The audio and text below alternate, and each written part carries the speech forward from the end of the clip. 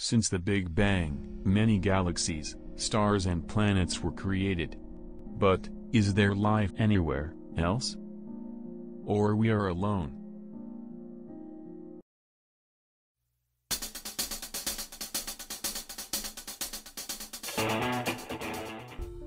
Mars has been everyone's favorite in the search for any other life outside the Earth.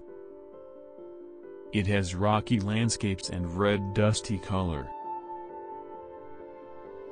Researchers studying the red planet's climate discovered that Mars was covered in past with ice mountains. NASA looking for life on Mars by searching for biosignatures of current or past life and searching for carbon or water, which are the main sources of life.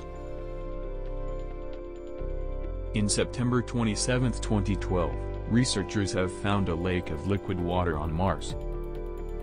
The temperature of water on this lake is around 68 C.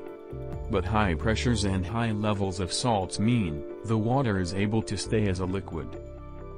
It's probably not a very large lake, said Professor Roberto Orosei, who led the study. But at least it is a promising evidence of life outside our planet.